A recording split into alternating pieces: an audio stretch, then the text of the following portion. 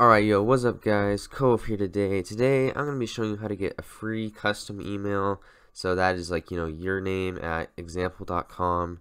And, you know, obviously instead of example, it'd be, you know, your domain name. But basically, you know, usually those cost a lot of money. You got to pay, you know, at a minimum $6 for one email address. And that's kind of expensive, especially when you're a new business or you just want this to say you have it or whatever. It's kind of expensive. Um, there's a free service that allows you to get up to five email addresses for free. It's called Zoho.com. I've used it a lot before. It's not that bad. It's actually pretty simple to set up, and I really like it. So I'm just going to be showing you how to use it today. It's completely free, no credit card required, um, or anything like that. Um, you do the only the only thing that you have to have is a domain name, which you know they're like 12 bucks a year or whatever. So um, for most domains. So if you already have a domain, great. If you don't, I think you can buy one from here. But uh, anyways, guys, let's get started. Alright, so anyways, you want to go to Zoho.com. I'll leave the link in the description. And you also want to make sure that you have another email address, just like a Gmail or whatever, to do the to do the signing up with beforehand, because you do need an email address. So, anyways, let's get that. So, you know, I have my Gmail pulled up as you know because you know for an example right? And anyways pretty much what you're gonna do is once you're on the site just click free sign up and then it's going to ask a couple of things. Um, what I what I like to do is I just like to use sign in with Google if you have Google or whatever and I'm just gonna sign up with my account real quick. Um, but you can sign up with any of those other methods it doesn't really matter. Alright now it's gonna ask a couple of things. It's gonna ask for your first name and last name and then also for your state if you're in the US. So let's put mine down, Oregon. And uh, pretty much, yeah, I'm just going to click create account because that all looks good. Make sure you agree to the terms. Um, I am, so yeah. Alright, so now you're going to see all this. You're going to see some of our most popular apps. Um, what I like to do is I'm, what we're just going to do is click mail and pretty much it's going to ask a couple of things but what we want to do is we just want to click get custom emails and I can just click access Zoho mail and here we go. It's gonna ask for a phone number so I you're gonna need a valid EOS phone number. Um, I'm gonna put mine in real quick so uh, let me do that Alright, it's going to ask for the verification code. Um, there we go. I'm going to check. I should have just gotten it. Um, I'm just going to wait for this to load. Okay. Yeah, I have it right here. So I'm just going to paste that in. Like so. I'm going to click verify. It says congratulations. And then anyways, you just want to go back. And it's going to say create domain, domain based in you know, email account in Zoho. And basically, you just want to pick the top option. You don't want to do it at Zoho Mail. You want it at your domain name. So, anyways, click continue. And then you're gonna, it's gonna be like, you know, hey, wait, why are you trying to charge me here? And just scroll all the way down, and then just use this one. We also have a free plan for you, up to five users, five gigabytes, and you know, whatever. Just click that one. It says try now, but there isn't any um, expiration date. It's a permanent thing. And then anyways, you're going to have two options. You can add your existing domain like we're going to do, or you can buy a new domain. Um, it really depends on what you want to do, but just note that if you have to buy a new domain, you're going to have to pay Zoho for the domain only.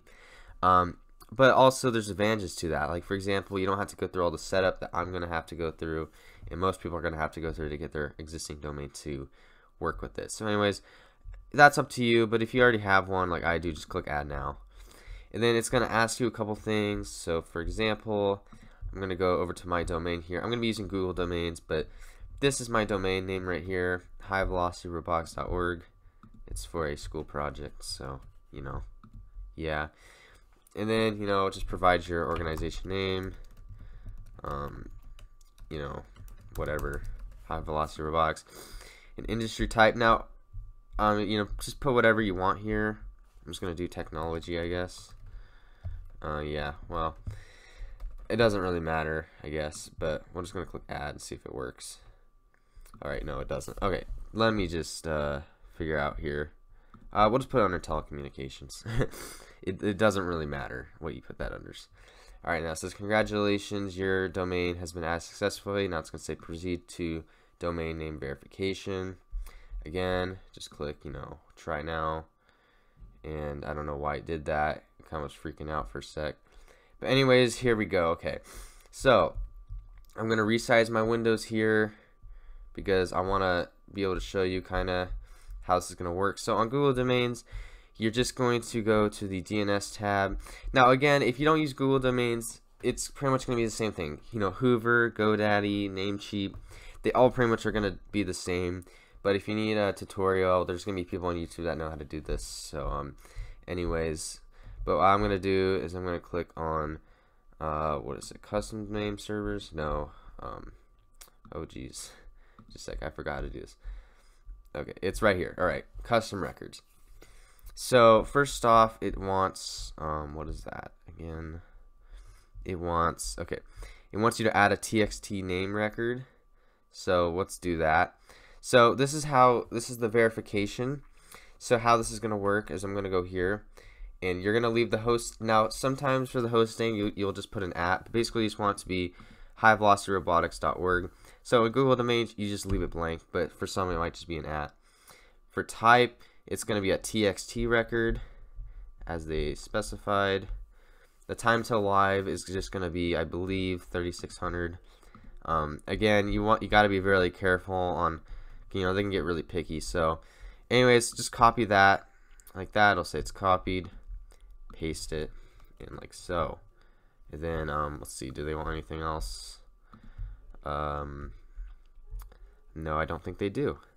Alright, then I'm just going to click save like that. And then I'm going to go back and I'm going to click verify TXT record. Now, that might it might not go through the first time. Um, you have to note that they can take up to um, 48 hours to propagate because, you know, domains, right? So you might have to wait. For me, I got lucky and it just went instantly. Anyways, now we will have to keep, we will have to come back to Google Domains in a second to finish the rest of the setup, but for now, let's get started. So it says you have verified your domain ownership. You are the super administrator of this do domain, or actually this organization. Create your domain-based email address. So what this means is pretty much you're going to be making the first email address that's at, you know, in my example, at highvelocityrobotics.org. That's all great. What you have to know is that you are this first email address is going to be the super administrator address. So this means that for every other email address, you can change settings, delete emails, all that stuff. How this works is every email address on Zoho has its own password. And so, you know, like it's it's more like if you had like multiple, you know, users in a business or multiple employees, you could give them their own specified login information because this is designed for business, but you know, you can use it like what I'm doing, which is just, you know, kind of personal use, but actually, you know, whatever. But pretty much what you want to do is I just like to make it admin. Um, that's what I always like to make it. You can put this your name. It doesn't really matter. But I'm just going to do admin because it is the super administrator account. And then it says give an email ID already exists. I don't know why that is. Um, we'll just do, uh, I don't know, super admin, I guess. I don't know. I don't know why that's like that. Um, sometimes it does that. But it seems that super admin worked just fine. Okay, so once that's done, it's going to have us do some more steps. So here is this, and we have our first email address. So that's all great and stuff. Um, now we're just going to click to, you know, proceed to setup groups. And you can add more email addresses if you want. Um, you know, group email addresses. You can do all that stuff. I'm going to do that later, but you can do that now. But you really want to worry about is the, the DNS mapping. And you'll see you'll see all the scary stuff. Now don't really worry. Um, there's a lot of um, easy stuff here. This looks scary. Trust me, it's really not. So anyways, I'm going to do is I'm going to go back to here and we're going to add our MX records. Now MX records are can be scary, but they're pretty simple in Google Domains. So what I like to do is I just like to go to manage custom records and I like to do um, create new record. And what we're going to do is an MX record. And it's just going to be your domain name. So like I said depends on your domain provider but it might just be an at for me it's nothing. Alright so the time to live is going to be 3600 and then basically how this works on Google Domains is you have the priority and mail server. So it'll be like, you know, 10 at whatever.com um, or whatever they make the priority. Now, for some, the priority will be its own separate box and you can enter that, you know, on its own. For Google Domains, they'll they don't have that. So just note that that's a thing. Um, basically, though, we're just going to go to this first one, which is mx.zoho.com. The priority is going to be 10. So, you know, just paste like that. and then put 10 before it, like so. And then you might think, okay, I need to add a new MX record for the um, other one, right? Well, not really. So what you need to do is just, you know, click copy 20. All right, and then just click add more to this record. So just 20, like that. So they make it really easy in Google Domains. I'm not saying that you should use Google Domains for this. You can use anything you want. I'm just saying, you know, for me specifically, that's what I'm going to be using. And for this, again, it's just going to be 50. So pretty much 50, paste like so. Click save, let it do its thing. Um, click go back to manage custom records. Um, we're gonna go back, and then it pretty much says right here we have the SPF record. It's gonna be a TXT thing, right? So what we're gonna do is we're just gonna copy that, and again back to this TXT record, we can just paste that in there. All right, so pretty solid. Um, go back, and what we're gonna do is we're going to go back, and then we have this one other TXT record that I do recommend making its own thing because what you'll notice is that instead of having an at or nothing, this has its own name. So what I like to do is we're just gonna make a new TXT record on it. So we're just gonna make it a we're going to paste that in. TXT um, at the bottom there. The time to live is going to be 3600. Um, and then we're going to go back and we're going to copy like so. Paste it in. Click save. Now, I'm pretty sure that's everything. So again, you're to have a lot of crap, but you know, it's to be fine and it's to be good in the end. So just click verify all records. Now, just click OK. Now, again, this might not go through the first time. You might be like, oh, why is it not working? Remember, you got to wait up to 48 hours. There's possible that you did miss something, but again, you should be all good because it's just a bunch of copying and pasting. All right, now I'm to click proceed to email migration.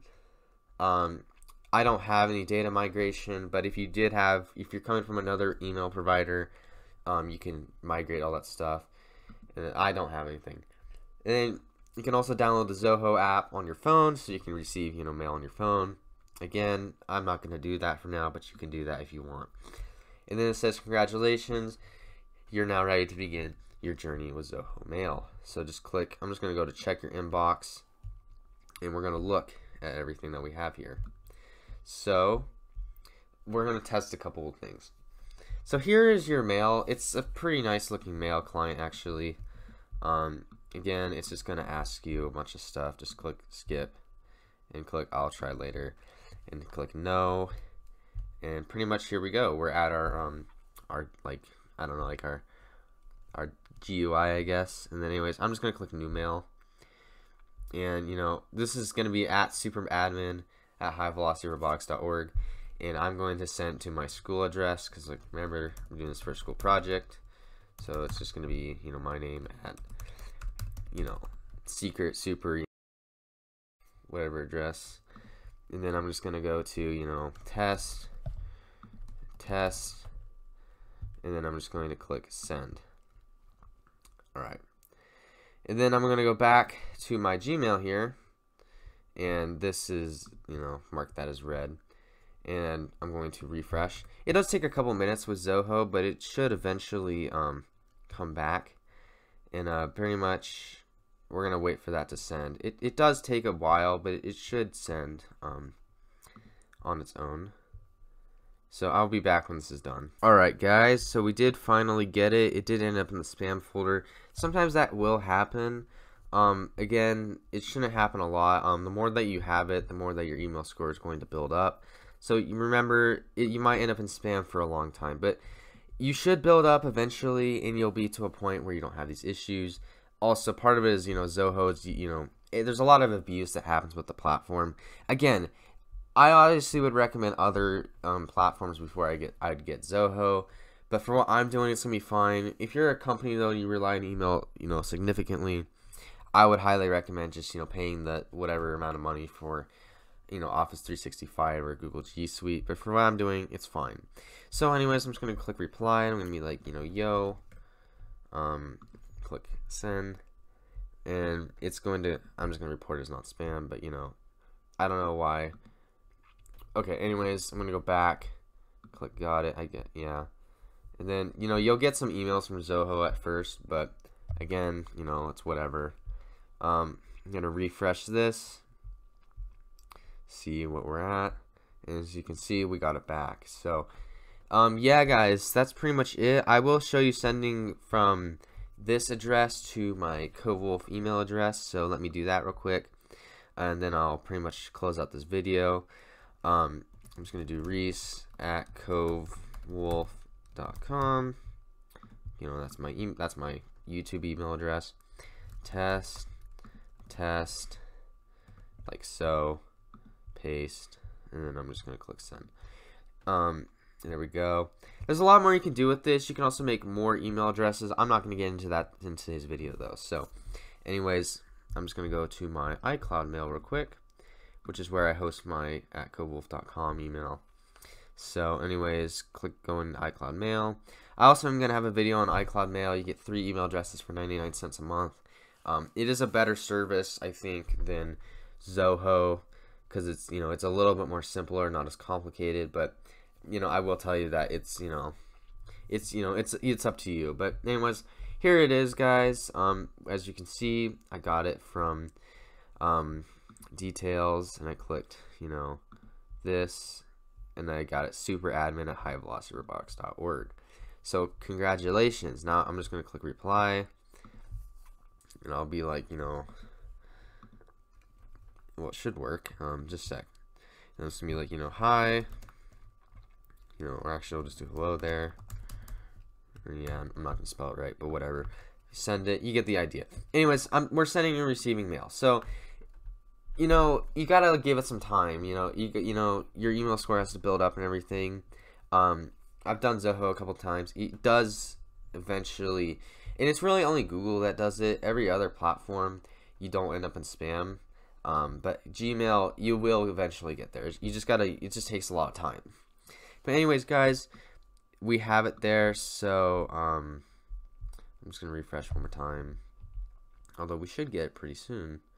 So yeah. Anyways, um, thank you guys for watching. Um, let's see where we get it from? Yeah, okay, we got it.